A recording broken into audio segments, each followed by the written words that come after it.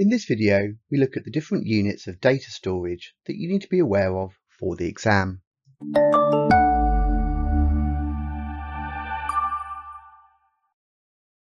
We already understand that everything stored in a computer system is stored in binary, those zeros and ones that represent just two states. For example, capacitors that store a charge or don't store a charge in RAM to represent a 1 or a 0, magnetic north and south poles in hard drives, pits and lands on Blu-ray discs, current or no current with logic gates. This is because it's much easier and therefore cheaper to manufacture electronic component units with just these two states. However, this means that everything, literally everything, must be stored with only zeros and ones, known as a bit or a binary digit. It is clear that Boolean values true and false or on and off can be stored with just one bit. However, to store more complex types of data, we need to use a combination of bits. For example, a single digit LCD display requires four bits of data I will explore how and why that is the case in a later video about binary numbers. Those four bits are called a nibble because they're half a byte. And yes, this is because computer scientists somehow think they have a sense of humour. Therefore, a byte is 8 bits. Those 8 bits can be used to represent lots of different types of data. For example, it could be a number, it could also be a letter or a symbol if every letter had its own binary sequence. Equally, it could be part of a picture or a sound file.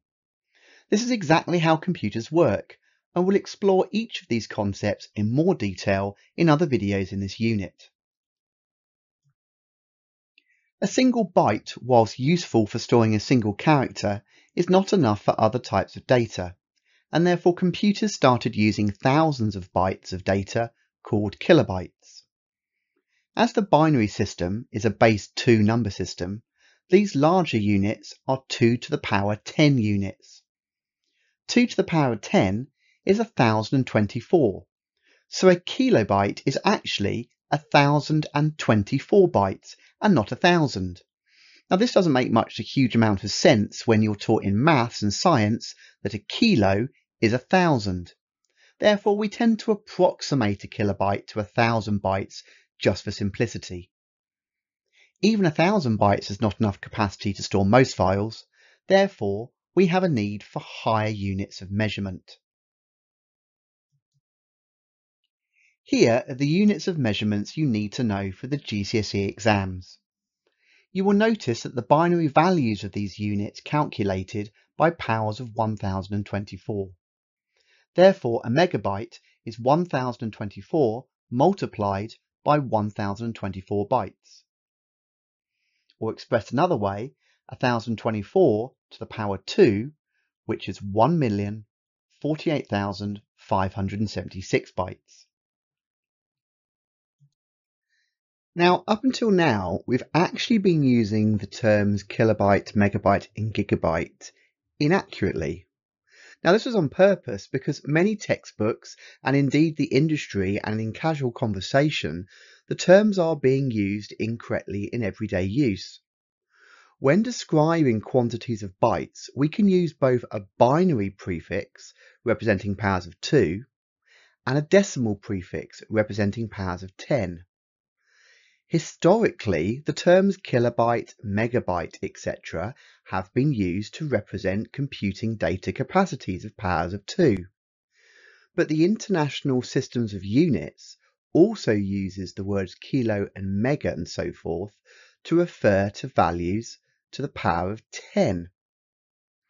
So when referring to the powers of 2, the actual correct terms we should be using are kibi, mebi, and so forth, as shown in the table on the left, and these are the terms that are mentioned in your specification.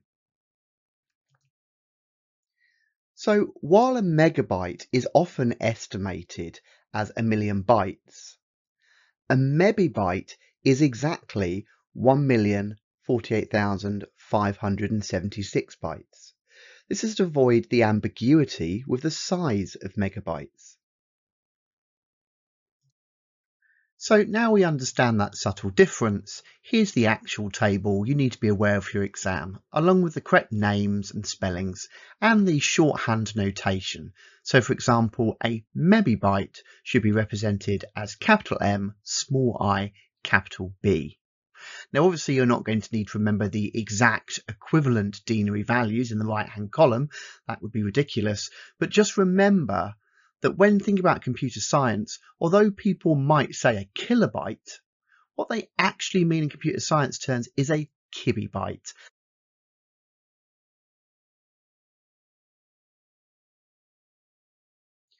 You obviously also need to understand, as you'll be aware now, that as we go up and down through the different units of data storage, that the volume of bytes is multiplied or divided. So if we start with, say, a tebibyte and we move down to a gibibyte, we are timesing by roughly a thousand. Obviously, exactly, it's 1024. Again, from a mebibyte to a kibibyte, we're multiplying by 1024. When going the other way, we're dividing so if we have mebibytes, to work out the number of kibibytes, we divide by roughly a thousand, or exactly 1024. Obviously, when we get down to the byte and bit level, then bear in mind that we're multiplying by 8 or dividing by 8, depending on whether we're converting from bytes to bits or from bits to bytes. And that's because there are 8 bits exactly in a byte. Okay, so let's look at some real examples. Here we can see a list of files in a typical file storage system. We've hidden the file name so we can focus on what's important. Now, just a quick note here, to confuse the matter even further, if you look at the size of the file in Windows, you will see symbols such as KB and MB. Now this is because Windows is using a completely different standard for Unix prefixes. With the Windows system, a KB or a kilobyte is 1024 bytes.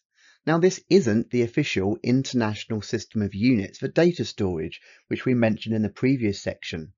And of course we should be using in our exam KIB, kibibytes, 1024.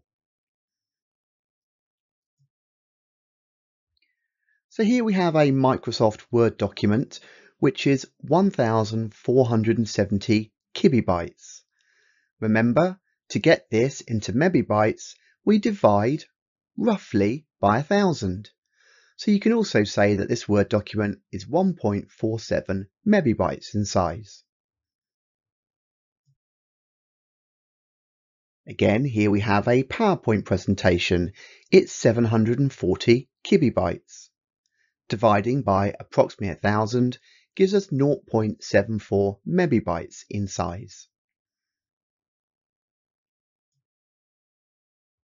Let's take this Microsoft Excel worksheet now, 25 kibibytes in size, and let's work it out actually in individual bits. Well, to get from kibibits to bytes, we times approximately by 1,000, so we've got 25,000 bytes, and then of course we times by 8 because there's 8 bits in a single byte.